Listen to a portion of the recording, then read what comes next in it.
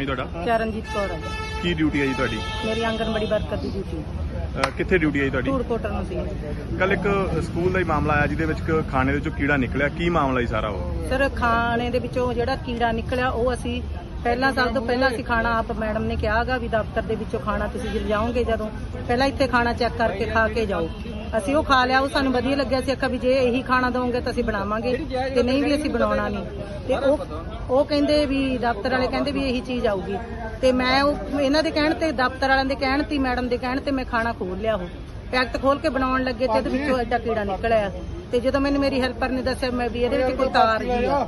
ਤੇ ਜਦੋਂ ਉਹ ਕਹਿੰਦੀ ਵੀ ਦੂਜੀ ਜਿਹੜੀ ਖਾਣਾ ਬਣਾਉਂਦੀ ਕੁੜੀ ਉਹ ਮੈਨੂੰ ਕਹਿੰਦੀ ਮੈਡਮ ਤਾਰ ਨਹੀਂ। ਕਹਿੰਦੀ ਮੈਨੂੰ ਦਿਖਾਇਓ। ਕਹਿੰਦੀ ਤਾਂ ਕਾ- ਉਹ ਆ ਖੰਜ ਕੰਜੂਰਾ ਉਵੇਂ ਉਹਦੇ ਲੱਤਾਂ ਬਣੀਆਂ ਹੋਈਆਂ ਸੀ ਉਵੇਂ ਉਹਦਾ ਮੂੰਹ ਸੀਗਾ। ਤੇ ਫਿਰ ਅਸੀਂ ਉੱਥੇ ਹੀ ਰੋਕਤਾ ਖਾਣਾ ਉਹ। ਇਹ ਕਿੱਥੋਂ ਆਉਂਦਾ ਖਾਣਾ ਤੁਹਾਨੂੰ ਸਾਰਾ ਇਹ? ਮਾਰਕ ਫੈਡ ਤੋਂ ਆਉਂਦਾ ਜੀ। ਤੇ ਅੱਗੇ ਵੀ ਕੋਈ ਇਦਾਂ ਦੀਆਂ ਸ਼ਿਕਾਇਤਾਂ ਆਈਆਂ ਜੀ? ਹਾਂਜੀ ਜਦੋਂ ਖਾਣਾ ਨਵਾਂ ਆਇਆ ਅਸੀਂ ਇਹਨਾਂ ਦੇ ਧਿਆਨ ਚ ਲਿਆਂਦਾ ਸੀ ਵੀ ਇਹ ਖਾਣਾ ਲੋਕ ਪਸੰਦ ਨਹੀਂ ਕਰਦੇ ਵੀ ਲੋਕ ਕਹਿੰਦੇ ਵੀ ਕੌੜਾ ਬਣਦਾ। ਖਿਚੜੀ ਵੀ ਸਾਨੂੰ ਵਧੀਆ ਨਹੀਂ ਲੱਗਦੀ। ਵੀ ਅਸੀਂ ਤਾਂ ਪਸ਼ੂਆਂ ਨੂੰ ਪਾਉਨੇ ਆ ਤੁਹਾਡੀ ਹੁਣ ਕੀ ਮੰਗ ਹੈ? ਸਾਡੀ ਮੰਗ ਇਹੀ ਹੈ ਜੀ ਵੀ ਸਾਨੂੰ ਖਾਣਾ ਸਾਡੇ ਬੱਚਿਆਂ ਨੂੰ ਗਰੀਬ ਪਰਿਵਾਰਾਂ ਦੇ ਬੱਚੇ ਆ। ਵੀ ਅਸੀਂ ਉਹਨਾਂ ਦਾ ਵਿਕਾਸ ਕਰਦੇ ਆ ਉਹਨਾਂ ਦਾ ਵਿਨਾਸ਼ ਥੋੜੀ ਕਰਨਾ। ਜੇ ਅਸੀਂ ਮੰਨ ਲਓ ਕੱਲ ਖਾਣਾ ਬਣਾ ਕੇ ਦੇ ਦਿੰਦੇ ਸਾਨੂੰ ਨਾ ਪਤਾ ਲੱਗਦਾ ਪੈਕਟ ਦੇ ਵਿੱਚ ਬੰਦ ਸੀ। ਕੋਈ ਬੱਚਾ ਖਾ ਲੈਂਦਾ ਜਾਂ ਅਸੀਂ ਖਾ ਲੈਂਦੇ। ਜੇ ਕੋਈ ਬਿਮਾਰ ਹੋ ਜਾਂਦਾ ਤੇ ਵਿਭਾਗ ਨੇ ਤਾਂ ਕੁਝ ਨਹੀਂ ਸੀ ਕਰਨਾ। ਉਹਨਾਂ ਨੇ ਕਹਿਣਾ ਇਹਨਾਂ ਦੀ ਗਲਤੀ ਹੈ ਇਹਨਾਂ ਨੇ ਬਣਾਇਆ ਹੁਣ ਤੁਹਾਡੇ ਵੱਲੋਂ ਹੋਰ ਕੀ ਪ੍ਰੋਗਰਾਮ ਲੀਕਿਆ ਜਾ ਰਿਹਾ ਹੈਗਾ? ਹੋਰ ਮੇਰੀ ਜਥੇਬੰਦੀ ਦੱਸੂਗੀ। ਕੀ ਨਾਮ ਹੈ ਜੀ ਤੁਹਾਡਾ? ਮੇਰਾ ਨਾਮ ਬਲਵਿੰਦਰ ਕੌਰ ਖੋਸਾ ਜੀ। ਮੈਂ ਡਿਪਟੀ ਜਨਰਲ ਸਕੱਤਰ Punjab anganwadi worker helper union AITUC Punjab. ਕੀ ਇੱਕ ਮਾਮਲਾ ਆਇਆ ਜੀ ਕੱਲ ਖਾਣੇ ਦੇ ਵਿੱਚੋਂ ਕੀੜਾ ਨਿਕਲਿਆ ਹੈਗਾ ਤੇ ਕੀ ਮਾਮਲਾ ਸਾਰਾ ਉਹ? ਹਾਂਜੀ ਕੀੜਾ ਨਿਕਲਿਆ ਸ਼ਰੇਆਮ ਜਿਹੜੀ ਕੁੜੀ ਹੈਗੀ ਆ ਬਣਾ ਰਹੀ ਆ ਚਰਨਜੀਤ ਕੌਰ ਧੂੜਕੋਟ ਉਹਨੇ ਉਹਦੀ ਵੀਡੀਓ ਬਕਾਇਦਾ ਬਣਾਈ ਹੋਈ ਆ। ਉਹਦੀ ਜਦੋਂ ਉਹਨਾਂ ਨੇ ਮਤਲਬ ਵੀਡੀਓ ਪੱਤਰਕਾਰ ਨੂੰ ਦੱਸ ਦਿੱਤਾ ਵੀ ਆਹ ਹੋਇਆ ਤਾਂ ਜਿਹੜਾ ਮਹਿਕਮਾ ਹੈ ਇਸ ਆਪਣੀ ਇਸ ਨਕਾਮੀ ਨੂੰ ਲੁਕਾਉਣ ਵਾਸਤੇ ਕੁੜੀ ਦੇ ਰਜਿਸਟਰ ਚੱਕ ਕੇ ਲਿਆ ਜਿਹੜੀ ਕਿ ਉਸ ਨੂੰ ਸਿੱਧੀ ਧਮਕੀ ਹੈ। ਜੇ ਉਹ ਗਏ ਆ 6 ਵਜੇ ਗਏ ਆ 6 ਵਜੇ ਤਾਂ ਕੋਈ ਚੌਕੀ ਨਹੀਂ ਬਣਦੀ। ਜੇ ਉਹਨਾਂ ਨੇ ਚੈੱਕ ਕਰਨੇ ਆ ਸੈਂਟਰ, ਤਾਂ ਅੱਜ ਤੋਂ ਕਈ ਮਹੀਨੇ ਪਹਿਲਾਂ ਕਰਦੇ। ਜੋ ਵੀ ਕਾਰਵਾਈਆਂ ਰਜਿਸਟਰ ਪਾਉਣੀਆਂ ਉਹ ਸਾਡੀਆਂ ਕੁੜੀਆਂ ਨੂੰ ਆਂਗਣਵਾੜੀ ਵਰਕਰਾਂ ਨੂੰ ਦੱਸਣ। ਅਗਰ ਜੇ ਨਹੀਂ ਪਾਉਂਦੇ, ਤਾਂ ਉਹ ਆਪਣੇ ਸਾਡੇ ਤੇ ਉਦੋਂ ਸਕੰਜਾ ਕਸਣ ਵੀ ਆਹ ਕੰਮ ਨਹੀਂ ਕੀਤਾ। ਜੇ ਹੁਣ ਇਹ ਵੀਡੀਓ ਦੇ ਵਿੱਚ ਕੁੜੀ ਨੇ ਇਸ ਖਬਰ ਨੂੰ ਨਰਸ਼ਰ ਕਰ ਦਿੱਤਾ ਤਾਂ ਹੁਣ ਉਸ ਨੂੰ ਇੱਕ ਧਮਕੀ ਦਿੱਤੀ ਜਾਂਦੀ ਹੈ ਵੀ ਤੂੰ ਸਾਨੂੰ ਦੱਸਣਾ ਸੀ। ਪਹਿਲਾਂ ਕਿਉਂ ਪੱਤਰਕਾਰਾਂ ਨੂੰ ਦੱਸਿਆ? ਜੋ ਕਿ ਅਸੀਂ ਪਹਿਲਾਂ ਹੀ ਇਹ ਗੱਲ ਨੂੰ ਰੌਲਾ ਪਾ ਰਹੇ ਹਾਂ ਵੀ ਫੀਡ ਸਹੀ ਨਹੀਂ ਆ ਰਹੀ, ਸਹੀ ਨਹੀਂ ਆ ਰਹੀ। ਇਹ ਮਾਮਲਾ ਧਰਮਕੋਟ ਵਿੱਚ ਵੀ ਆਇਆ। ਅਸੀਂ ਇਕੱਠੇ ਹੋਏ। ਅਸੀਂ ਕਿਹਾ ਵੀ ਇਹ ਜਿਹੜਾ ਰਾਸ਼ਨ ਹੈ ਵਧੀਆ ਨਹੀਂ ਹੈਗਾ ਲਾਭਪਾਤਰੀ ਲੈ ਨਹੀਂ ਰਹੇ। ਤਾਂ ਦਫ਼ਤਰ ਵਾਲਿਆਂ ਕੋਲੇ ਮਾਰਕ ਫੈਟ ਦਾ ਬੰਦਾ ਵੀ ਆਇਆ।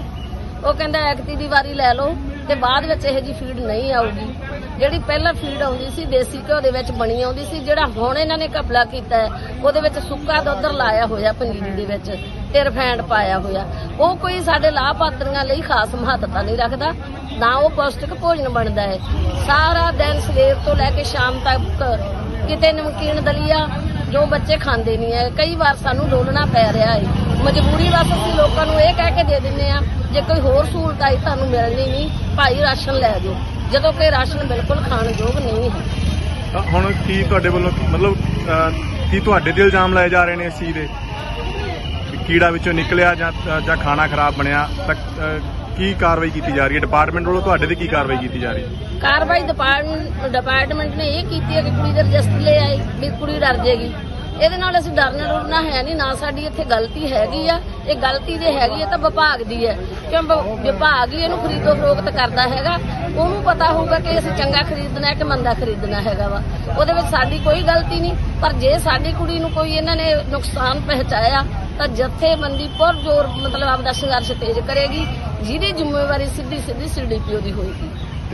ਕਿਹੜੀ ਮਤਲਬ ਕਿਹੜੀ ਕੰਪਨੀ ਜਿਹੜੀ ਖਾਣਾ ਪ੍ਰੋਵਾਈਡ ਕਰਦੀ ਹੈ, ਭੇਜਦੀ ਹੈ ਜੀ? ਮਾਰਕ ਫੈਡ ਭੇਜਦੀ ਆ ਕਿ ਵੇਰਕਾ ਵਾਲੇ ਦਿੰਦੇ ਸੀਗੇ ਬਹੁਤ ਵਧੀਆ ਖਾਣਾ ਹੁੰਦਾ ਸੀ, ਲੋਕੀ ਵੀ ਖੁਸ਼ ਹੁੰਦੇ ਸੀ। ਹੁਣ ਮਾਰਕ ਨੂੰ ਪਤਾ ਨਹੀਂ ਇਹਨਾਂ ਨੇ ਕਿਹੜੇ ਹਿਸਾਬ ਤਰੀਕੇ ਨਾਲ ਜਾਂ ਤਾਂ ਆਪਣੇ ਕਮਿਸ਼ਨ ਲਈ ਜਾਂ ਕਿਵੇਂ। ਵਧੀਆ ਖਾਣਾ ਆਉਂਦਾ ਸੀ, ਵਧੀਆ ਲੋਕ ਖੁਸ਼ ਸੀਗੇ।